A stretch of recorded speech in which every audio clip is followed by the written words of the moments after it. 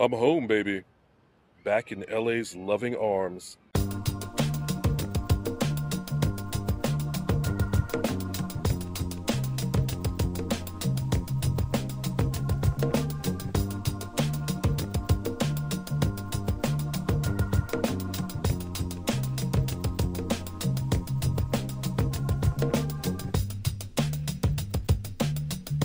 Stop by the nearby breakfast spot to get breakfast.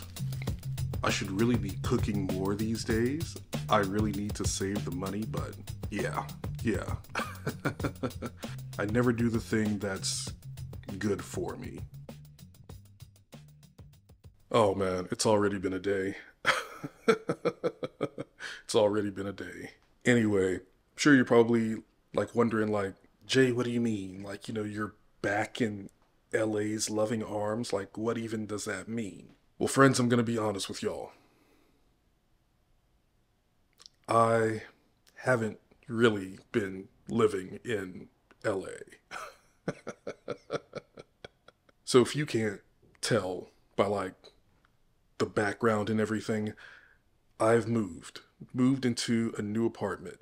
And look, this is a video I've been wanting to make for a very long time. So for those of you who've been like you know, following the channel and my journey and everything like that, you guys know that I've always just talked about how I hated where I lived. And I don't know if y'all, you know, were just like, oh, you know, he hates the apartment or, you know, he just like hates the apartment complex because of like his neighbors and blah, blah, blah. That's not really what I was saying. I hated where I lived. And where I lived was a city called Corona.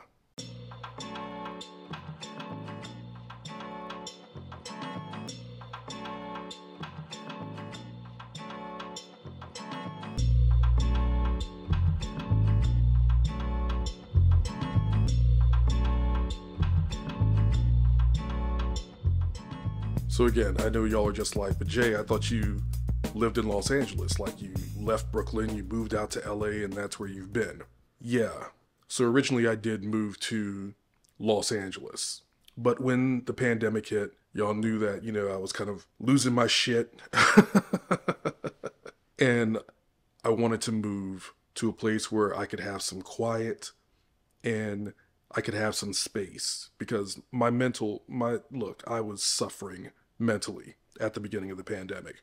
One of my homegirls, you know, I talked to her and she was just like, she's also, you know, she was looking to move and she actually gave me a list of places that she had been looking at. And, you know, I looked through this list and I saw this one apartment complex. I don't know why it spoke to me, but I was just like, you know what, this seems pretty cool. I mean, I even like investigated. I got in the car and I drove there and I was just like, oh, you know, I like this area and everything seems cool. Thing about it though, thing about it, I was fooled. I was duped, I was fooled, I was hoodwinked, I was bamboozled all that stuff. Because this area that I was looking at, this apartment that I was looking at, was in Corona. And at this time, like, we're still talking like July 2020. So, still, you know, you know, few months into the pandemic, but still pretty early. And what didn't really click was that no one was outside. like, unless you were an essential worker or what have you, or you were just someone who just did not give a fuck. No one was really outside. So the journey to Corona was easy. It was nice and quiet because literally nobody was outside. so I was like, let's run it. So yeah, I made that move out to Corona and initially things were cool, but then as some of y'all know, had issues with a noisy upstairs neighbor so after a few months of that, I ended up moving to a different apartment within the same complex, not realizing that I was moving next door, right next door, to a rapper. And I'm not gonna lie, his music is pretty good. but it's just the fact that he would treat his apartment, like his living room, like a recording studio, and just like blast music as loud as possible. I mean, I guess I should be thankful that he did that in the daytime. But as someone who works from home, as someone who writes, as someone who needs you know,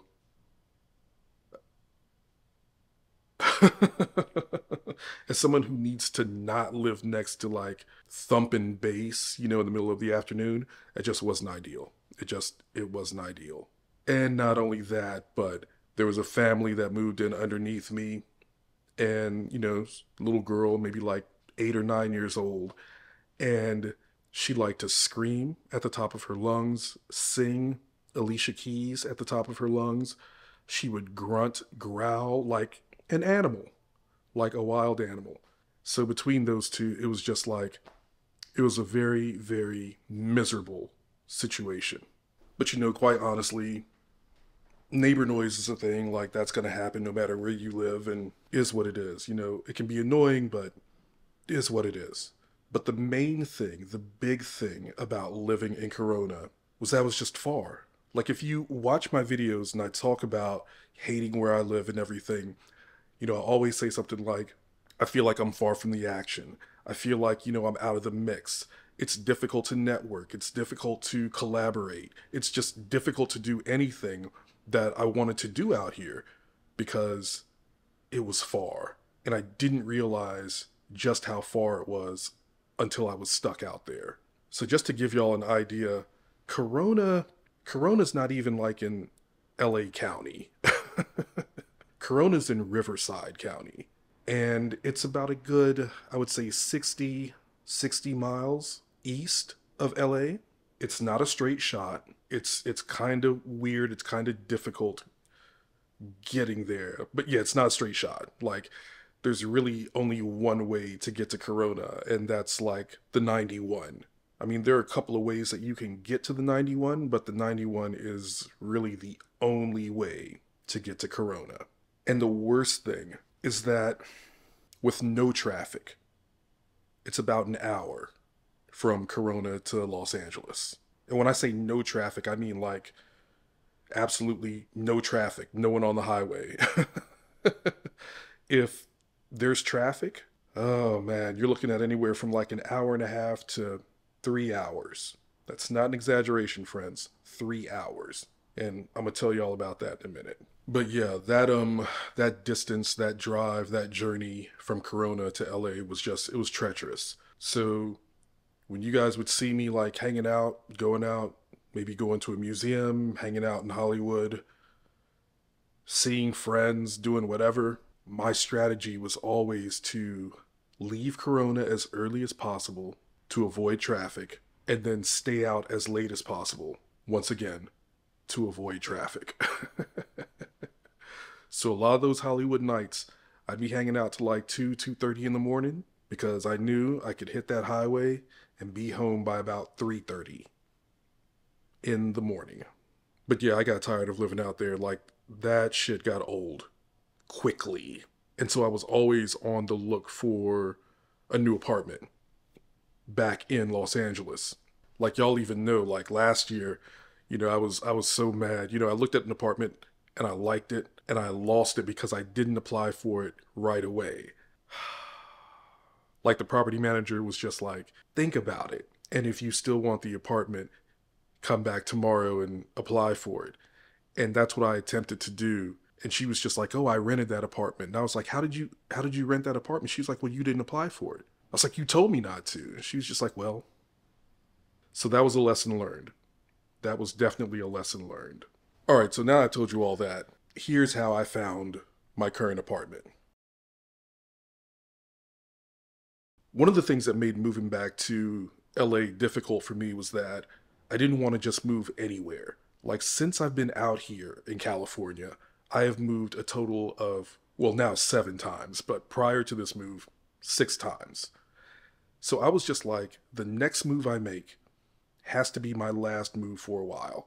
I do not want to just like move any old where and then a year later move again. I knew that I wanted to move like right into my next spot that I plan on being in for several years. With that in mind, there was an area that I knew I wanted to live in. I was inflexible about this. Like, didn't want to move back to like downtown or Westlake didn't want to live on the east side. I'm sorry.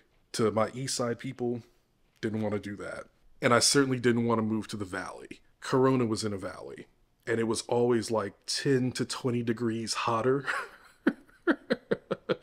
than it was in LA. And so I imagine that the San Fernando Valley is pretty similar in that respect. So places like North Hollywood, Burbank, Valley Village, like all that, wasn't trying to do that. But I knew where I wanted to live. So I would always just, you know, look at apartments in that area, see what was available, see what, you know, prices, what price range, you know, apartments were in, see what amenities were available or not available. You know, just little stuff like that. Please ignore the iron in the background. You know, I do that every once in a while. Whatever. Just window shopping apartments, right?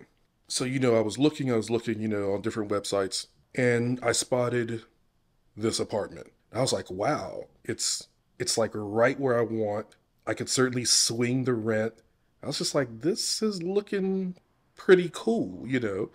There's certain things I would have to sacrifice, like a dishwasher and an in-unit washer dryer, and it's fine. It's fine. You know, that was stuff that I'd lived without before, so I could deal. I could deal. I was like, all right, let me just see. So I hit up property manager or whatever, and I was like, is the apartment available? They're just like, yeah. If you want to come see it, you know, we can arrange a time. All right, bet. So we arrange the time. I leave my apartment in Corona to come see this apartment in Los Angeles. Fam, three hours. So I'm headed to look at an apartment. I left the crib pretty early because I knew that traffic would be crazy, but I had no idea traffic was going to be this crazy. I mean, I did, but I did, but I never have to deal with this traffic. So, for as long as I've been out here, I'm still not used to this. This still blows my mind. I do not understand how people can do this every day. Nah, fam, no. Actually, three and a half hours. Because once it got to the three hour mark, I had to reach out and, and ask if we could push our appointment by 30 minutes. Because the traffic was just insane. But fine. Get here, look at the apartment, you know, see everything with the property manager. I'm just like, this is, it's perfect. It's where I want to be. It's a small building. It's not like a large, you know, massive complex. So not that many tenants, no children, no pets. I was like, this is this is perfect. This is exactly what I want. So property manager was just like, do you want to apply? And I said, yes. Let me go ahead and apply right now. So filled out the application, got the uh, application fee. Now here's the thing. I did all that. I went to a, a nearby bar, had a couple of beers. Like an hour later, an hour after filling out the application, they called me back and they were they were just like, if you want it, it's yours. If you can drop off like the you know deposit and everything, it's yours. So y'all better believe I went to the bank. I got the cashier's check. I was ready to go. I wasn't going to lose this one. And you know the only the only I guess bad thing was that I was supposed to um supposed to go to Memphis for my birthday.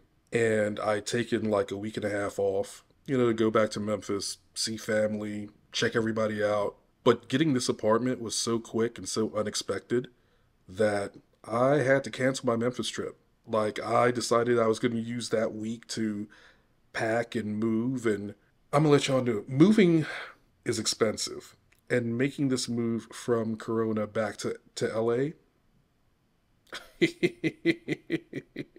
I will say this. I probably could have funded a short film or even a no budget feature film for the amount that it cost to move back. so to uh to my Memphis people, I'm so sorry. That's why I didn't come back. I don't know. Might see y'all for Christmas or New Year. but yeah, uh literally like the week of my birthday is what I used to like pack. Got movers and they moved me in and uh it was actually pretty smooth. Smoothest move ever, like even easier than moving out to Corona. Like this was a smooth move, so yeah. And you know, once the move was done, of course, I celebrated.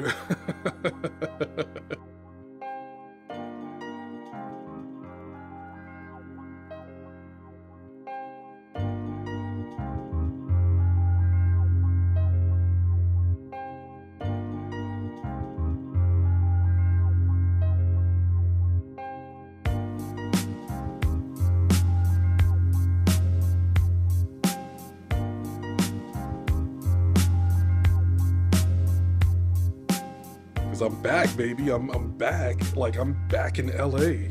What a journey. What a journey.